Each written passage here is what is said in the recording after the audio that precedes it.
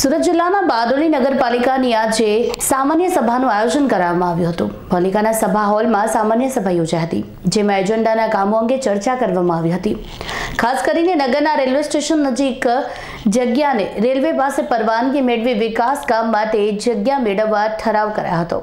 સાથે જ સફાઈ કામદારો અંગે મહત્વનો નિર્ણય કર્યો હતો. જેમાં જે કામદારોના પાંચ વર્ષ પૂરા થયા હોય તેવા કામદારોને કાયમી નિમણૂક આપવા પણ ચર્ચા કરવામાં આવી હતી.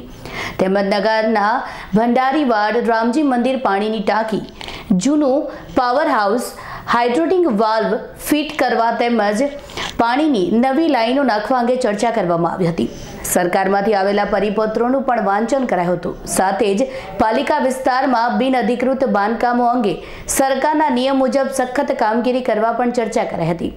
સર્વાનુમતે સામાન્ય સભાના તમામ બાર જેટલા એજન્ડાના કામો મંજૂર કરવામાં આવ્યા હતા. આજે સામાન્ય સભા મળી છે. કયા મહત્વના મુદ્દાઓ આવરી લેવામાં આવ્યા છે?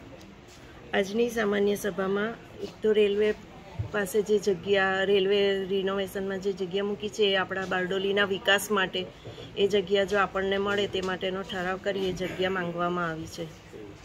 એ સિવાય બીજા એ સિવાય હાઇડન વાલ જે દરેક પાણીની ટાંકીઓ પર મૂકવાની વિચારણા છે. જ્યારે આગ લાગે ત્યારે બંબા લઈને છેક પંદર વીસ મિનિટનો આંટો મારવા જવું પડે. એના કરતાં જો દરેક જગ્યા એટલે દરેક અમુક જગ્યાએ વાલ હોય તો ઝડપથી ભરીને આપણે તરત પાણી ગાંધીનગરથી જે ત્રણ લેટર આવ્યા છે પાલિકાને એ કયા કયા પ્રકારના કામગીરી માટે આવેલા છે અને એ માટે કઈ પ્રકારની કામગીરી કરવાની રહેશે?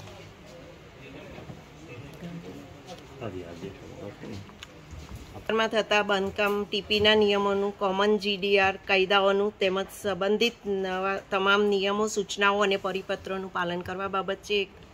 બીજો ટેકનિકલ અને નોન ટેકનિકલ જગ્યાઓ પર અધિકારી, કર્મચારીઓની નિવૃત્તિ બાદ નિમણૂક આપવા બાબત છે.